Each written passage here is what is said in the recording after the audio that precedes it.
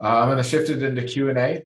The first question is, how sensitive is the scheme to the VDF's AMAX? And as a consequence, how practical is it today? The, the follow-up comment is, intuitively costless simulation from Genesis still won't be instantaneous or costless, but how slow is slow enough? So in our analysis, we assume that, uh, that the speed of the AMAX, it's, it signifies that variability in the speed of the VDF computation. So we assume that the, all the VDFs have the same speed, but in practice, yeah, the VDFs, different VDFs have different speed and it affects, it degrade, can degrade the security. We didn't, uh, like we can, we can consider that uh, different factor in our analysis and yeah, that will, that will show up uh, as the, the amplification factor of the adversarial tree will be much higher in that case. So right now, as the algorithm is, it's not practical enough to uh, take into consideration this variability in VDF speeds. I wonder uh, how the mentioned multi-leader protocols fare in order fairness context, especially if one uses hash-based partitions of clients' requests across leaders. Uh, any insights? So in general, like even if you have a completely leaderless protocol, um, or you choose like some unpredictable random ordering of transactions, um, there's still the potential that the ordering is unfair. So to give like a very um, brief, uh, let's say data point, um, if you are trying to submit a transaction um, to the, the top of the queue, if you just try to flood the network with a lot of transactions and then choose a random ordering from multiple leaders or um, from everyone even, with high probability, this flooded transaction can occur um, earlier in the block which can break uh, fairness guarantees if that's what you're trying to optimize as an attacker. So even if you have multiple leaders just proposing and ordering and combine them um, very naively, you still don't get any nice fairness properties. Okay, so a follow-up question in the same thread. When the number of nodes n increases from five to larger values, how is the latency expected to scale?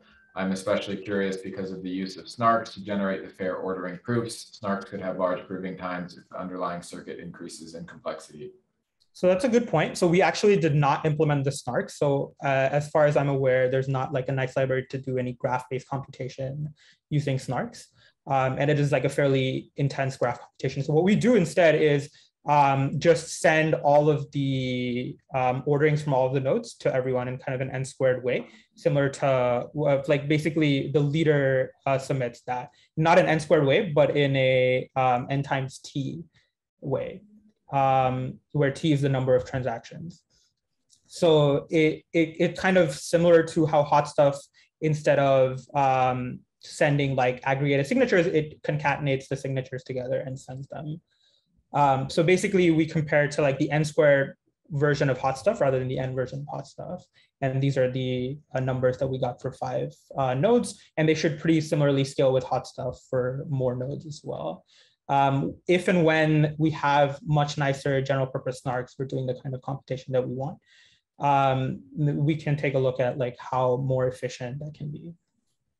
How hard would it be to extend Wendy to non-PBFT protocols to reduce communication and validation overhead?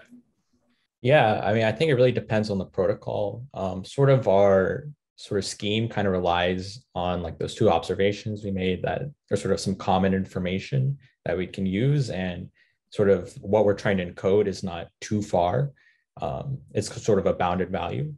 Um, but I can imagine, I guess, depending on the protocol, if there's some sort of common information that's you know easy to encode that um, uh, we could use the no commit proofs. What is the cost for the leader to generate a no commit proof? Yeah, so basically the leader has to, you know, it, it receives like n minus f, um, you know, 2f plus one of these signatures. It has to verify, um, you know, verify these signatures and then aggregate them together. Um, so I guess the cost for the leader, um, you know, is you have to verify these like, um, you know, these multi-signatures, these end signatures and then aggregate them together before sending it. Is there a way to reduce the aggregation cost for the leader who will inevitably be the bottleneck? Yeah, I mean, I, I think, I mean, we've, there are some of the other papers that, you know, we're talked about today. I mean, um, you, there's multiple different types of collectors you could use. There's tree-based approaches. Um, so yeah, I think each one has like different trade-offs versus, um, you know, having a single leader, you know, collect and aggregate versus, you know, having multiple nodes do it. Super tiny question, but why was n equals to five uh, in Themis? Is it four plus one or three? Yeah, it, it is the same complexity as uh, Aequitas four plus one. Yeah. Okay. Yeah, I think that's what you need for like these two things. Okay, Yeah, there is and, uh, like Mohammed. I, I I conjecture that you can do three f plus one, but mm, uh, it just makes this kind of like using the strong fairness property that we have. Yeah, no, I've seen a similar paper, not related to fairness, but to skipping timestamps, and you usually also need four plus one, so it makes sense.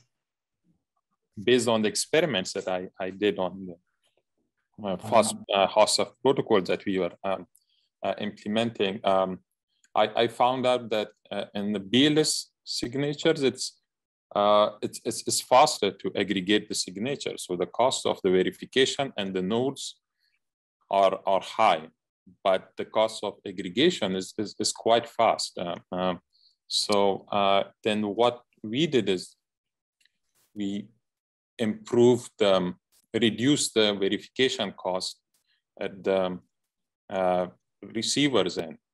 Uh, so instead of during the view chain, instead of each node verifying n number of um, uh, QCs or n number of aggregated signatures, they just just have to verify two aggregated signatures. And you you uh, you don't have to use this with BLS. You can do it uh, with any other signature scheme, but the cost of verification will be linear. But the problem will be the message complexity. So you cannot reduce the message complexity. Uh, and I guess that's, um, um, but what we observe is that during view change, the most of the uh, uh, cost that we incur is due to the verification of the messages rather than the sending of message because the quadratic cost of message during view change is just below 2% of the overall uh, proposal, block proposal that you send in case of blockchain. So until you have thousands of nodes, um, we should not worry about the message complexity during the view change. Uh, but uh, we, uh, we should be more worried about the computation complexity. Uh, that's, that's what based on the experiments I learned. And, uh, and the second point that I wanted to mention, I'm not sure if you have take a look at the Hermes BFT of blo for blockchains. They, they're also the using no commit proofs. A, a, technique like no commit proof. It's not no commit, but uh, so the uh, during the view change, the next primary has to collect some evidence that specific request has not been committed before proposing the next uh, uh next proposal. But uh, they don't use um, encoding. That's the way you have. Yeah. So that's comments from, and I'm not sure if you have look at that and can point out more details of, of difference of how your work is different to the Hermes BFT, the no commit proof that they use.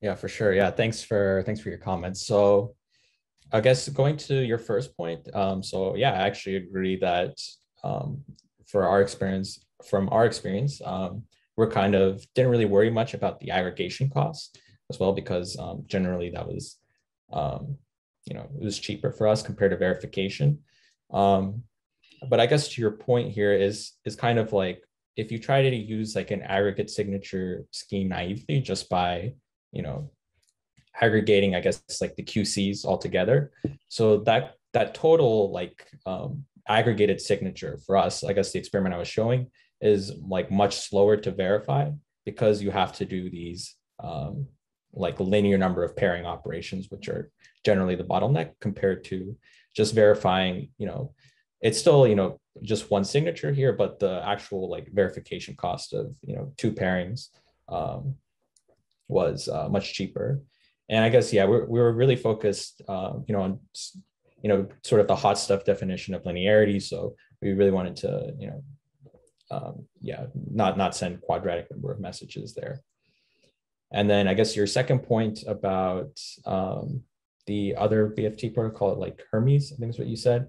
Um, so I haven't looked at it personally, but I'd say, I guess the really, I think the um, main difference, I guess, uh, that I that I envision here is really the aggregate signature scheme itself. Um, you know, like having this very special aggregate signature scheme, which uh, is specifically built for the consensus protocol itself, and you know has different notions of like unforgeability as you know where I'd probably say the big differences. But I'd have to you know you know look at the paper more in depth.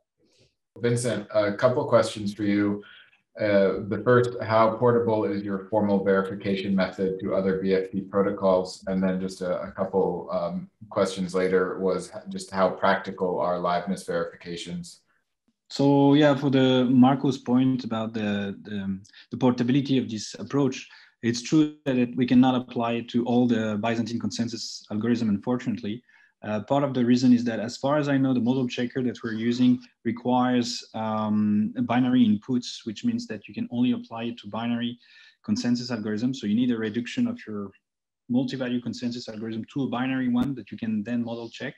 So this is the first limitation.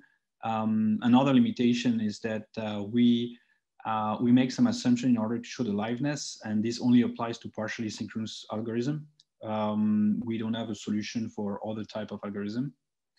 And the, the to answer the, the second um, question, which was related to how liveness is hard, I guess when you have um, a particular situation where you don't assume synchrony, then the interleaving of steps that are taken by all the processes uh, pretty much explode the number of states that you have to explore in order to make sure that each path in the execution will end up terminating, uh, which makes the problem, I guess, a little bit uh, subtle. Um, and that's probably why liveness is, is hard to prove. But for other type of algorithms that are synchronous, perhaps there is a simple, simpler way to proceed. Uh, accepting your conclusion that it is now feasible to formally verify blockchain consensus protocols, how hopeful are you that this practice will become widespread in the next year to three years? so, so for this kind of crit critical application, if you really want to have a mass adoption of blockchain system for a crucial application where security matters a lot, I think more and more work will have to be done. And knowing that there are tools uh, as advanced as uh, Byzantine model checker that are useful, that are usable even by non-expert in uh, formal verification, I think it's, it opens up a lot of possibilities for, uh, for critical applications, yeah. Thank you again to all of our session speakers, and I'm going to pass it on to our uh, host for the next session.